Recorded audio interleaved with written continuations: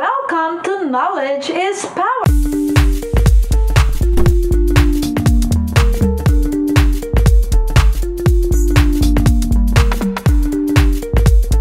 Something.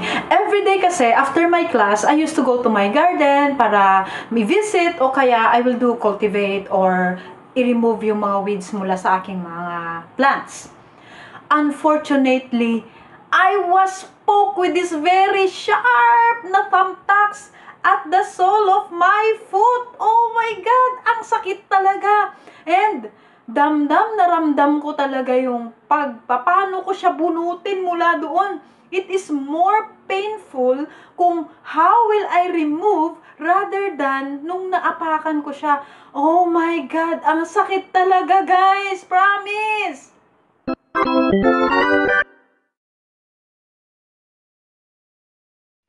First, clean the wound with soap and running water. Put antiseptic and topical antibiotic if it is available. Cover it with bandage or band-aid for it not to be exposed to dirt. Then proceed to emergency room as soon as possible.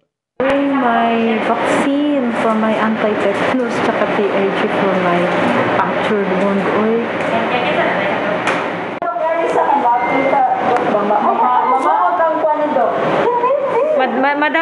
madaot ang background.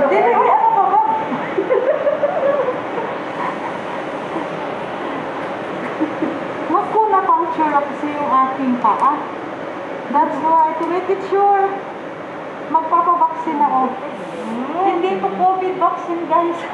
Isa itong tetanus toxoid at saka sa kabila naman is immunoglobulin tetanus. Yandan.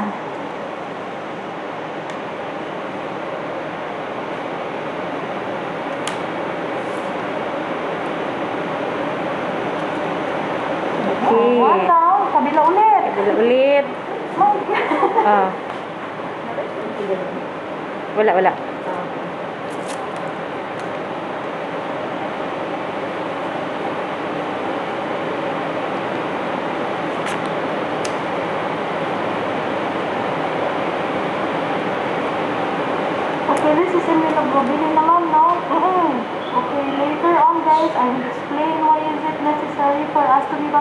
Vaccinated when we get punctured or we have open wound. And it is ASAP view. Why?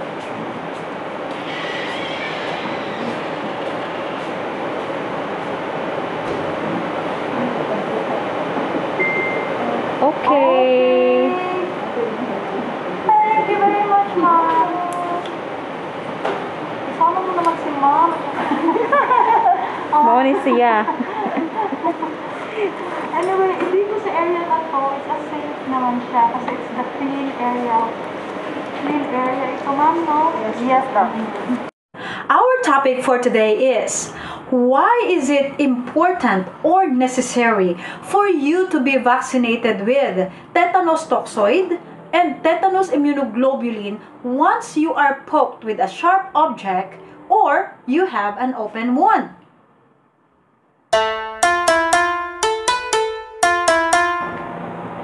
Before we proceed to the importance of vaccination, let us know first what is tetanus. A tetanus is an infection caused by a bacteria called Clostridium tetani. When this bacteria invades the body via an open wound, they will produce a poison or a toxin that causes painful contraction. It is also called lockjaw. It often causes a person's neck or jaw muscles to lock, making it hard to open the mouth and swallow. Now, we have this so-called incubation period.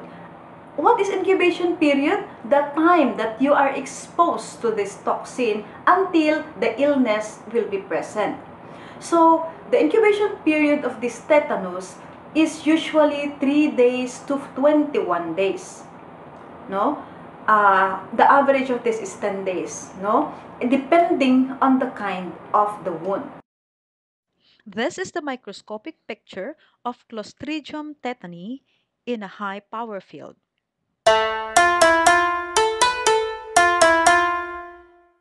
The most common sign and symptoms of tetanus, I said it now a while ago, like the spasm and stiffness of the jaw muscle, the stiffness of the neck muscle, not only the neck muscle, but stiffness and spasm of the abdominal muscle also.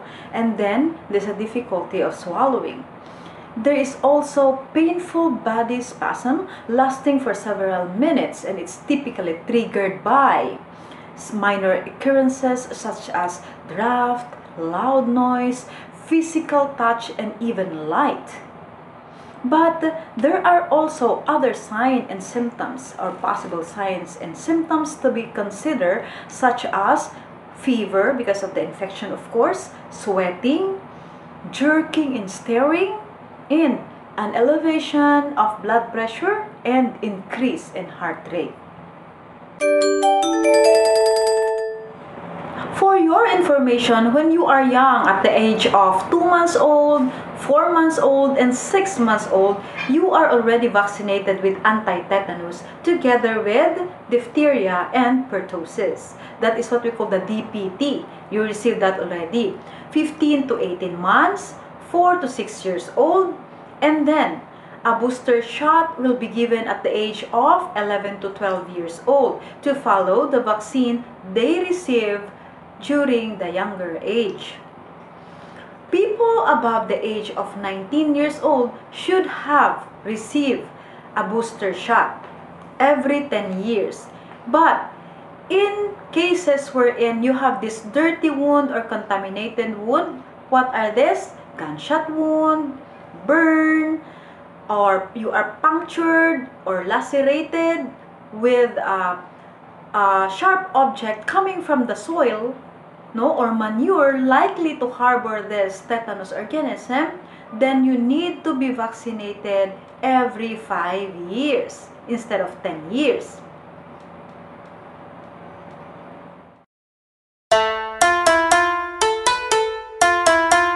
These are the indications for the use of anti-tetanus immunoglobulin. Number one, those with tetanus-prone dirty wounds such as crushing injuries, you are being punctured or lacerated with dirty, rusty materials, you need this shot.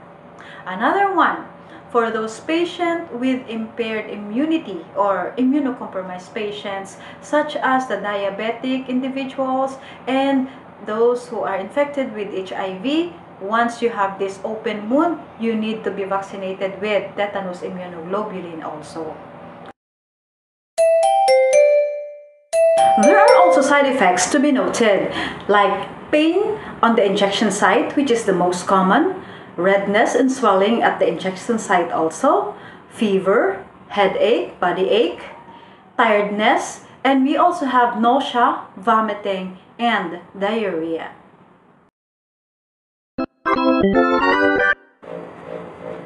Now let's proceed for the risk factors, the treatment, and prevention. For the risk factors, we have inadequate immunization. You did not take your booster shot.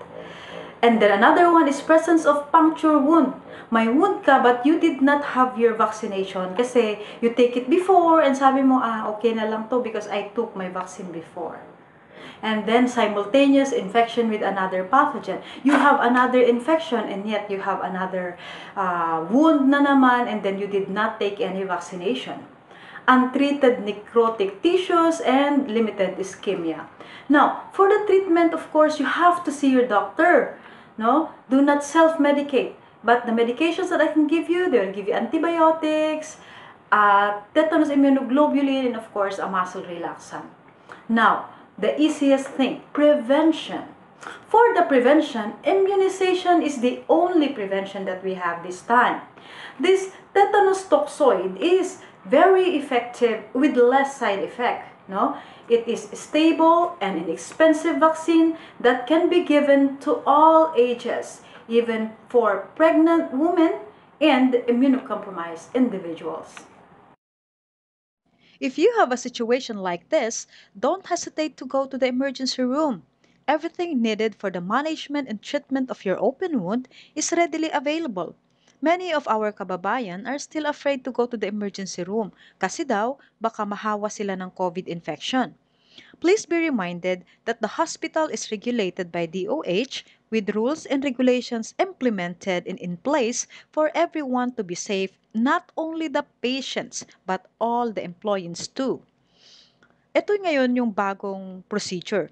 Upon reaching the hospital, you will proceed to a triage area. Once you have a sign and symptoms of COVID infection, you will be placed in an appropriate area. Laboratory workup will be done together with a COVID 19 test. If you don't manifest signs and symptoms, just like in my case, I will go to the clean area of the emergency room, wherein I will be treated. So don't be afraid and don't think that you will get COVID in there. If it is needed, be there as early as possible, not when everything is too late. I hope that you learned something today because knowledge is power. Bye